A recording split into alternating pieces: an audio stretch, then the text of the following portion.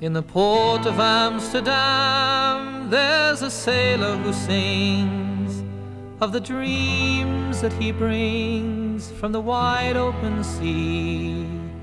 In the port of Amsterdam, there's a sailor who sleeps while the riverbank weeps to the old willow tree. In the port of Amsterdam, there's a sailor who dies, full of beer, full of cries, in a drunken down fight.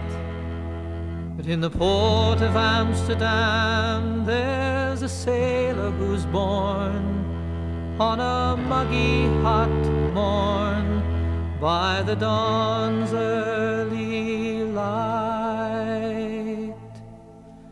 In the port of Amsterdam, where the sailors all meet, there's a sailor who eats only fish heads and tails.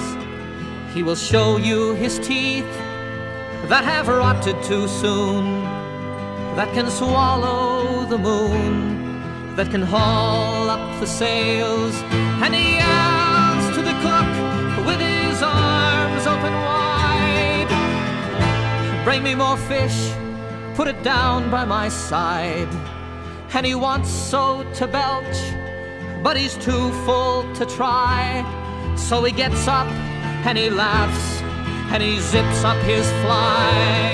In the port of Amsterdam, you can see sailors dance, punches bursting their pants, grinding women to punch. They forgot in the tune that their whiskey voice croaks, and they're splitting the night with the roar of their jokes.